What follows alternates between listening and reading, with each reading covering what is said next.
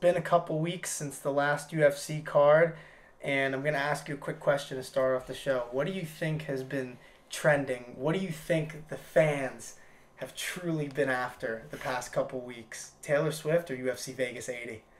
Oh, dude! Wow, we're already get. I'm already starting with the hard questions, with the tough questions. Yeah, man. Man, dude.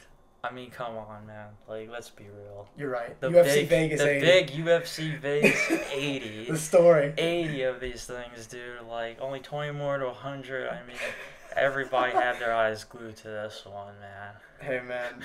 While the rest of the world may be looking at Travis Kelce, at least America is looking at Travis Kelce and Taylor Swift, we're over here talking about MMA because that's what you guys want from us. So let's get into Yeah, we don't have we don't 80. have we don't have any uh any more smooth, you know, transitions with the Taylor Swift yeah into our into our product. until she um, starts dating like Di- yeah, Diego 'cause- Sanchez. You know, yeah, two two guys two guys fighting in a cage, you know, you know, kind of night and day with uh with Taylor Swift. But um Well, let's get into the fights, man. like we said, we're here for that purpose. But um, honestly, UFC Vegas 80 was kind of a sleeper. Like the more I looked at it as it came up, it's not fights that are gonna excite the masses. But if you're a hardcore fan and you see certain names on there, it wasn't too bad of a card, and it turned out all right. And I think the main event was arguably like best case scenario because Bobby Green is so fun and to tell you guys what happened in case you didn't see it. Bobby Green starched Grant Dawson 33 seconds with a clean left hand. And big upset by the bookmaker standards. I mean, he was like, what, plus 380, I think they were saying on DraftKings before the start. So upset by their standards. But I'll ask you this what, what did you think of Bobby Green's performance and did you expect something like this? Uh, well, no, hon- I mean, I don't want to say no in the sense like I didn't expect this at all, but I, I think it was, I think you'd be hard pressed to say that it wasn't, you know, surprising, especially in 30 seconds. Um, so there, that that definitely was pretty like you know I think I think for a while now that it should be known that Bobby Green is one of the more electrifying lightweights in the division. He gets who was obviously you just saw him display that one punch power and he just put the fight away just like that. I think where you know maybe where the the bookmakers uh, got too comfortable and messed up with was um, you know I guess just at this point in each of their careers you know obviously Grant Dawson is vying basically for where Bobby Green is like now. And it's crazy because Bobby Green like just has been around for a while now. And he And- wasn't ranked, which is funny because Bobby Green almost has more of the masses respect because of just the names that he's fought and how long he's been around. I mean, Yeah, I don't. Yeah, I guess they weren't giving they weren't giving Bobby Green enough credit to you know defend takedowns and whatnot. And uh, can know- I ask you this? Like, because coming into this fight, I didn't realize the odds were what they were until the broadcast, honestly, because I thought this fight was a good matchup. Not because Grant isn't exactly who we think he is, Yeah, It's just I mean, because Bobby Green is so good, and like, besides the grappling, where I think Dawson had a massive advantage, I think over the course of five rounds, Bobby Green has showed that he can give people fits with his stand up, and he has cardio.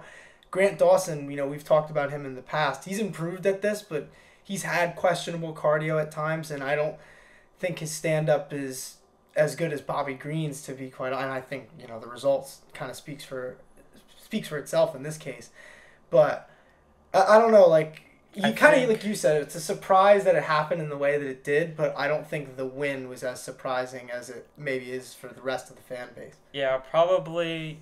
Probably, I think what they really thought was, you know, Grant Dawson's gonna he's gonna control the middle. He's got the smaller cage and the apex, and you know, Bobby Green is, uh, you know, there's Bobby Green's gonna be going against the clinch a lot of the fight. And you know Grant Dawson's. That's how Grant Dawson probably you know they thought was gonna work in his uh, probably like some some some short striking, put some damage on the body and whatnot, and then Kind of flip the script yeah. on that one. yeah exactly. Bobby Green was not wasting any time I just don't think he gets enough credit, man. Like he's a true OG of the sport. I was looking up his Tapology today just to like read some of the names that he's fought, and more than that, I was looking at the promotions and fought in Strikeforce, Affliction. These are like old school MMA promotions. This dude's been around and has fought so many of the best people in his weight class.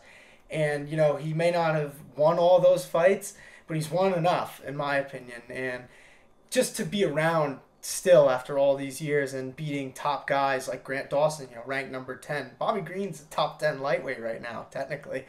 I don't know what the rankings are going to come out with. You know, we're recording this on Monday. It'll be out probably by the time the pod comes out. So now, as we always do, we got to talk about what's next. I think there's a couple options for Bobby Green. I mean, Renato Moicano called him out. Dan Hooker had called out Mateusz Gamrot, but he is. I think he said he's looking to fight by the end of the year. Bobby Green wants December, so he thinks that Dan Hooker might be in for that. So I'll ask you this: Which of those two would you rather see, Moicano or Hooker? I. Mm, so I think with, I think with Moicano, Bobby Green, I feel like that's probably a better um, stylistic matchup, and I think even with those two at their points in their careers, I think they're honestly maybe I mean I think we I think we this go without saying too like you know the money would have to be right and all that. Whereas I think with Dan Hooker like Dan Hooker's obviously I think Dan Dan Hooker's probably well now it's interesting because you know because at this point in Bobby Green's career like how much do you really see like him making a push for the title, you know. And that's not even, you know, you alluded to the money too. That's not even his main motivation. He's very open about just being in it for the bag. Yeah. And that's why I think that he probably doesn't mind whoever's next as long as the pay is good, kind of like you said. And yeah, I, I mean, me personally, I kind of agree with you. I think Moicano is a better style matchup, at least on the feet. I think obviously when it gets on the ground, Moicano is a jiu-jitsu wizard, so that's like it's a whole nother ball game. But Dan Hooker is, you know, he's a long striker, good kickboxer. He kind of keeps people at range, and I don't know if Bobby Green's style is really the a good fit against Dan Hooker, but it's a big fight, and I think it would get him paid accordingly. I think that Yeah. that could be a pay per view like main card, you know, three rounder in the middle there. Dan Hooker too is you know he's still fighting these these younger dudes and seeing where he's at in this in this point in his career and Be good to see him against an OG.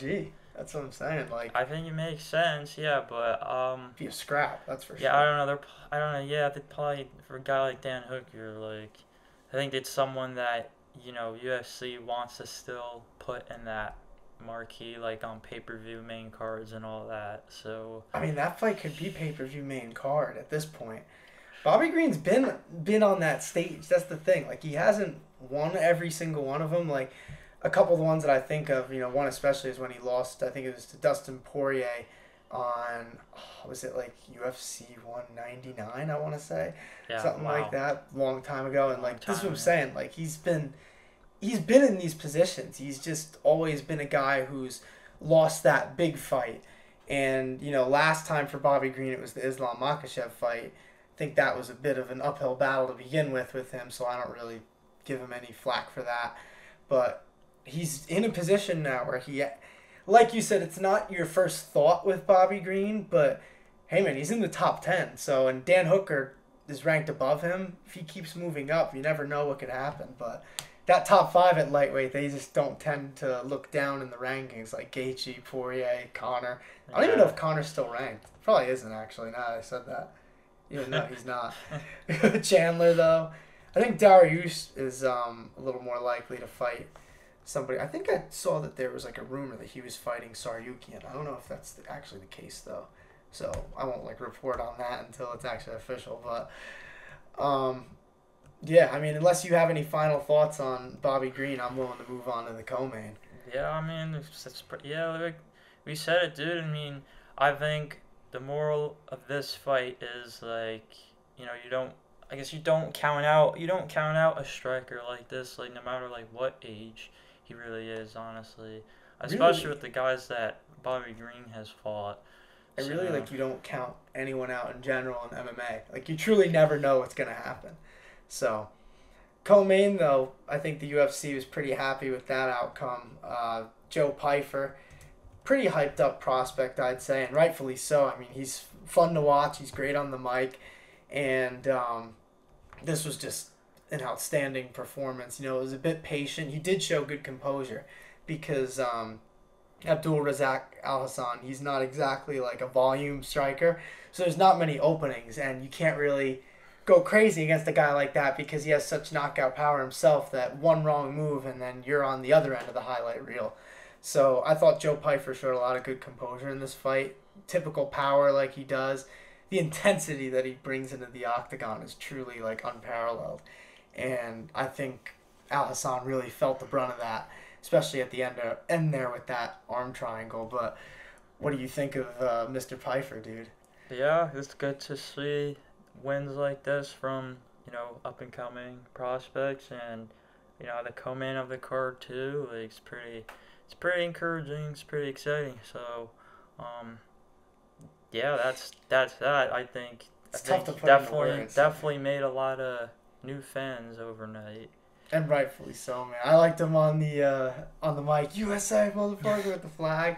By the way, very happy that the UFC flag ban is now gone because that was one of the weirdest little eras Mm. In UFC history. There, I mean, there's so many times where you'd want to see a fighter carrying his or her home flag.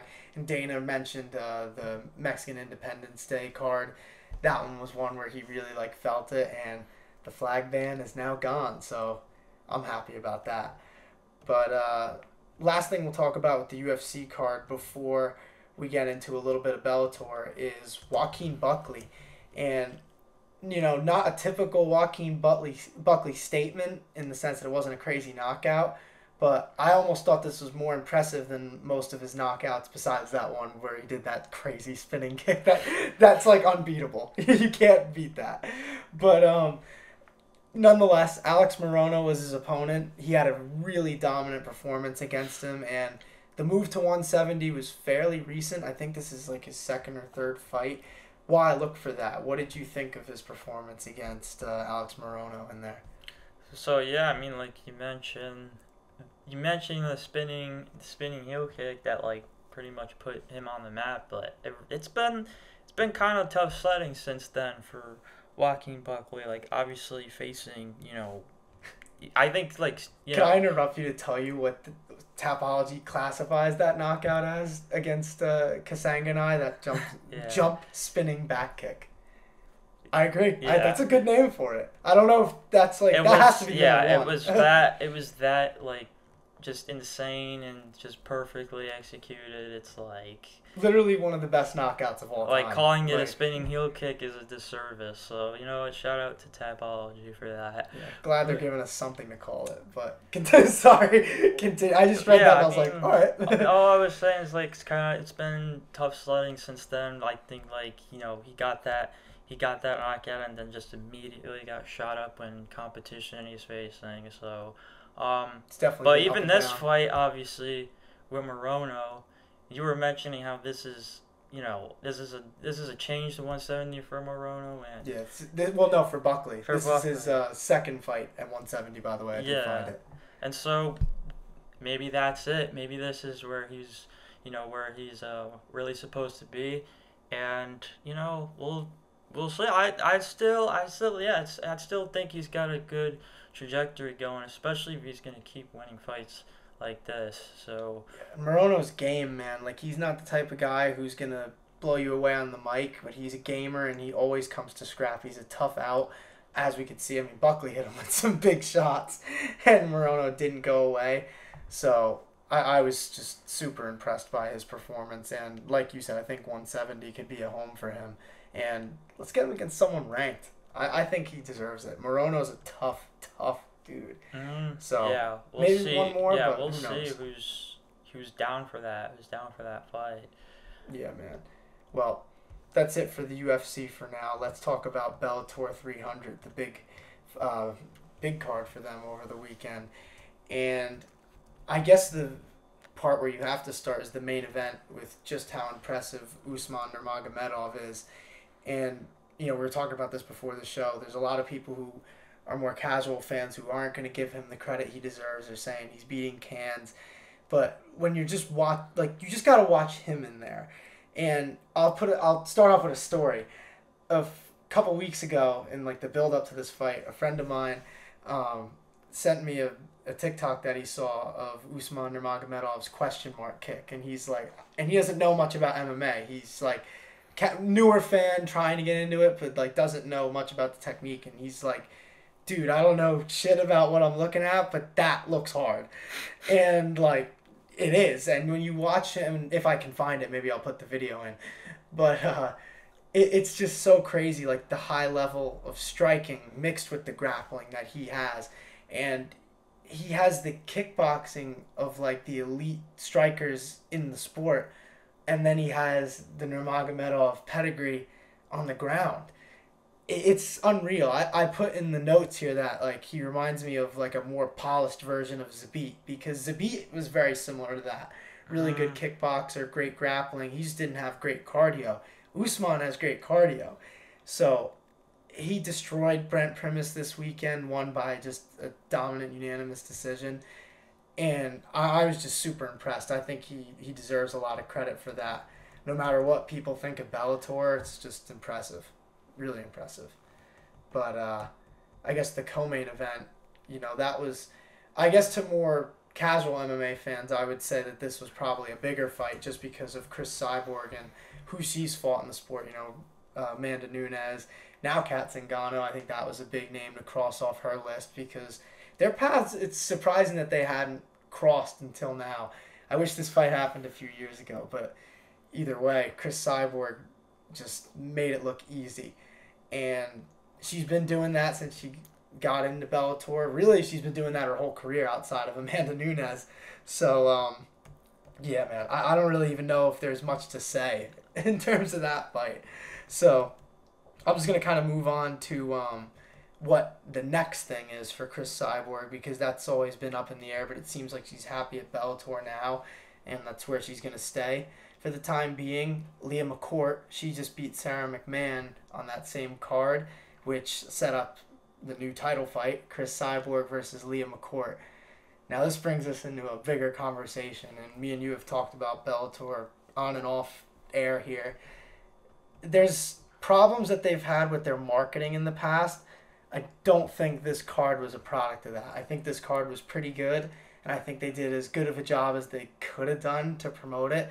I think in the end they kind of were better served because that one title fight fell off, which made it a typical three title fight card, which it made it feel familiar for MMA fans. Like this feels like a big card. It's not over yeah. doing it like you kind of put. So that was a good start, even if it wasn't by their own hand. But I thought they did a good job. Like the production was good, and I enjoyed like the fights that I saw. And um, but the matchups, you know, I see Cris Cyborg versus Leah McCourt, and this is no disrespect to Leah McCourt. It's just when you look at the resumes, it's not even close. Eh, and I think in order for Bellator to really build the stars that they do have, they have to get better depth around it, and they keep losing out on these opportunities. And I don't know if it's just because they think they're going to get sold, but you know, I mentioned when Derek Brunson got released or didn't get released, he left the UFC. I said Bellator should be in the market for him, and then the PFL swoops him up. That's not a guy that you can miss when you don't have contenders. I mean, we just saw what Johnny Eblen did at 185 to Leon Edwards' brother. It was just crazy. And Derek Brunson is a guy, if you put him into that middleweight division, it's actually kind of fun and it, it the Bellator middleweight division right now is actually pretty good in general, and they have a lot of underrated guys. And Derek Brunson might be a, might have been a dude who could have unlocked some of their potential, but instead he's in the PFL, and we have the champions fighting these contenders who have matchups that are just super favorable. I don't know, man. I think they really shoot themselves in the foot sometimes because in the beginning when we started this podcast, I thought Bellator was a clear number two to the UFC. Now I think they're number four. I, I put one in the PFL above them. You know, no particular order. I think PFL and one are like interchangeable. If you're going global, I'd say one. But it it's unreal how much they've kind of shot themselves in the foot. And I feel weird like shitting on them after giving them all the credit, but you know this was the pinnacle, and you're not going to see a Bellator card that was that good for probably Yeah. a little while, and that's not good if you want sustained success. Like Bellator can't just have one good week every quarter and compete with the UFC that has two good weeks, two to three good weeks every month, sometimes even four. So like it's just they're not on a level playing field at this point. And it sucks because it seems like they've just gone downhill and I I, don't know. I'll like, let you I'll open it up to you. I know I kind of just you know ranted a little bit there, but Yeah, like I think with Bellator is I think they bank on you know who they already have and who they already like are, you know, in terms of people that are you know coming up and trying to just stick somewhere for a minute and build their name. I guess maybe like a, I guess like a Michael Chandler for instance. You know, some you just kind of like you take these guys you want them to be homegrown in Bellator, and then like once they're you know established and pretty much, then they'll go out. They then once they've already established their Bellator career, they've done good things for Bellator, made Bellator a lot of money. Like they'll go out to a bigger, better opportunity, and then you know become like, even this is- more worldwide because Bellator keeps happening. yeah, And they don't see it. Like it makes no sense. Yeah, that's that's the issue. They're they're they're too comfortable with who they already have, and in terms of like, you know, just putting even cards like this where you we're supposed to have four title fights, and like that in cer- in terms of like for the future and all that, it's like okay, well that's great. We just put on this huge mega card, so like you're just saying, you know, where's what you know what's going to be the next like Bellator card to really be glued to for the next month. There's nothing. There's- like yeah, there's not, and it, it's so tough. no, yeah, it's the tough thing too because it's like the champions and obviously the household names like, and because of this inferior competition that they're getting, like they're really not even breaking much of a sweat when they're fu- when in these fights. And that's why they want to leave because they don't get enough credit. Like Michael Chandler before he left, Ben Askren before he left. The big knock on Bellator fighters is like, yeah, but he's not gonna do or she's not gonna do that in the UFC, and we're seeing it now. Yeah, Vadim and- Nemkov, you know, I talk about him all the time. I thoroughly believe that he is the best 205er on the planet right now. You know, who knows what's going to happen at UFC 295? That might make me feel a little differently. But right now, I'd say it's Vadim Nemkov. But a majority of the fans, they don't realize how good this guy is because they don't want to give him the credit because he's in Bellator. And then Usman Nurmagomedov's another one. I see comments already. He's beating up cans. He wouldn't do this in the UFC. Yeah, he would.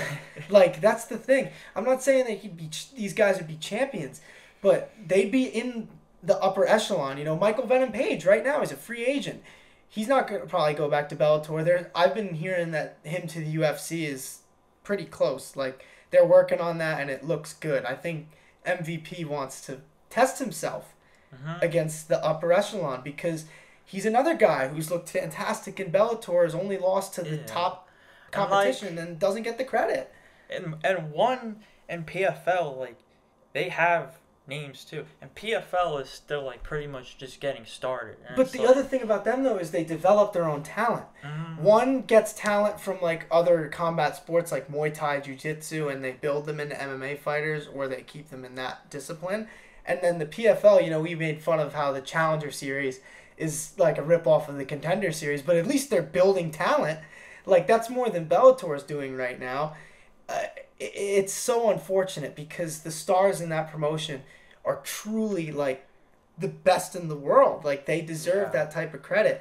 It's And just the Bella- divisions around them; they're not there. for Bellator too to have something like you know their Grand Prix tournament, which is like obviously like so cool to have. It's almost like well now you have the PFL has you know their own tournament as well, and in terms of people that are actually like I guess going to like I guess stick in terms of um you know I guess maybe drawing in new fans and whatnot and getting booked for like bigger fights like you know PFL I think has that bigger luxury right now.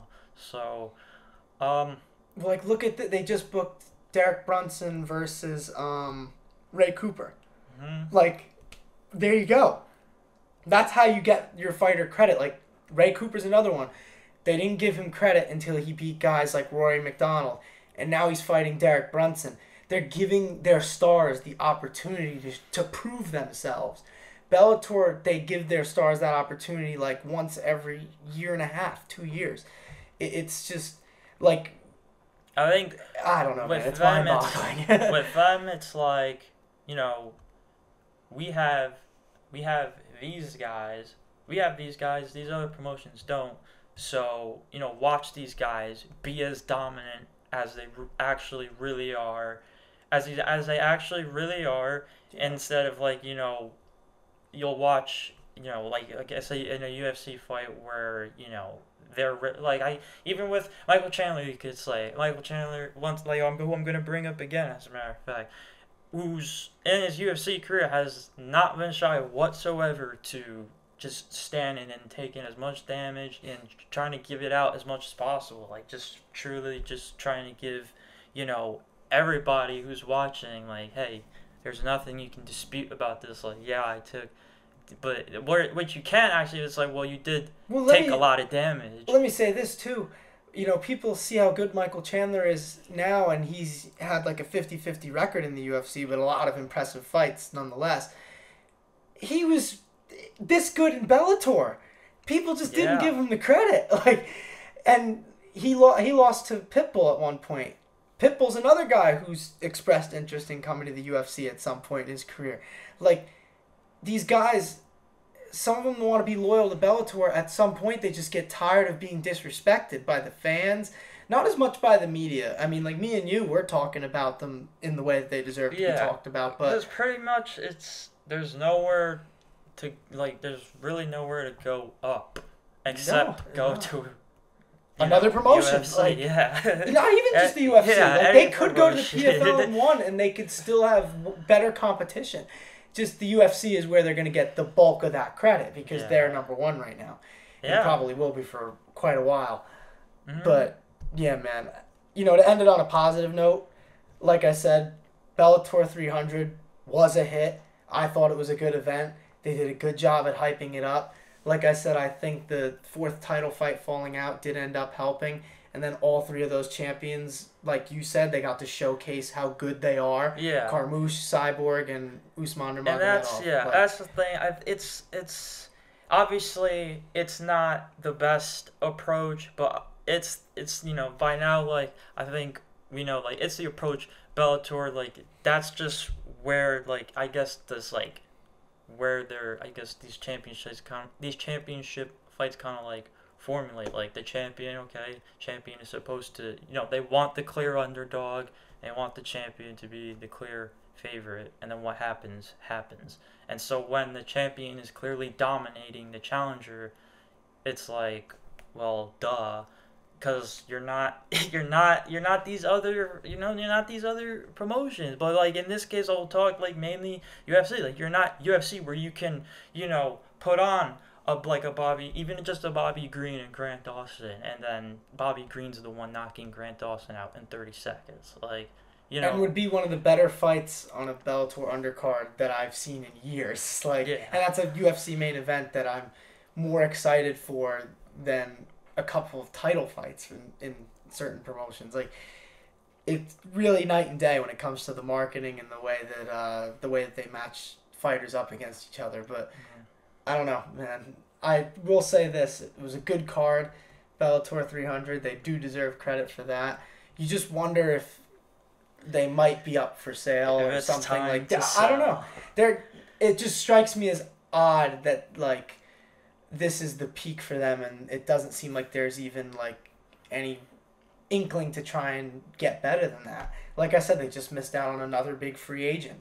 So yeah I don't know. They they have to do something unless the, there's already something in the works. You know what I mean? So yeah, let us know in the comments what you guys thought. You guys like UFC Vegas 80 or Bellator 300 better? But uh, that's it for us this week. And uh, it's just honestly like just a crazy question, you know. Yeah. I know there's only three. It is title crazy, fights. isn't it? There's supposed to be four, and even then there's three title fights. But let me put it like this: like the fact that we're asking people, yeah, did you prefer the card with three title fights, or did you prefer a, a fight card with a top ten ranked lightweight and someone else who wasn't ranked, and then the unranked guy upset the top ten guy? So it's just like so funny how things turn out. But I thought it was pretty even. That's why I'm genuinely yeah, it's begging fair. the question. yeah. So let us know what you guys think. Like the video, subscribe if you haven't already, and we'll see y'all.